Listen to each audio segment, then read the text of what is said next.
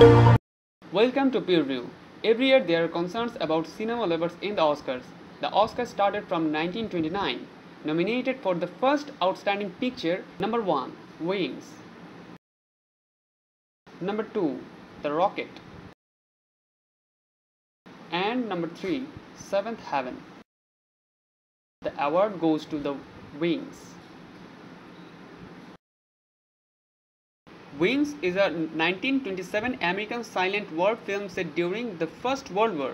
The film, a romantic action war picture, was rewritten by scriptwriter Hope Loring and Louis D. Lighton from a story by John Monk Saunders.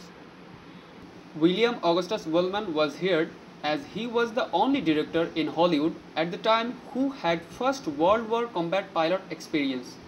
Although Richard Arlen and John Monk Saunders had also served in, in the war as military aviators. Hundreds of extras and some 300 pilots were involved in the filming, including pilots and planes of the United States Army Air Corps. Starring of this movie, Clara Bow, Charles Buddy Rogers, Richard Arlen, Gary Cooper. Produced by Lucien Hubbard, written by Julian Philip Matthew Johnson. Screenplay by Hope Loring, Louis D. Lighton. Story by John Monk Saunders. Music by John Stepan Zamecnik. Cine cinematography Harry Perry.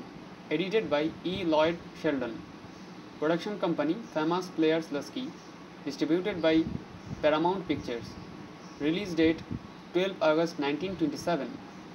Running time original release 111 minutes restoration 144 minutes. Country united states budget 2 million us dollar. Hope you like this video. If you like this video then hit like and subscribe button and share with your friends with comments. We will come to the next video with more details about cinema. So stay tuned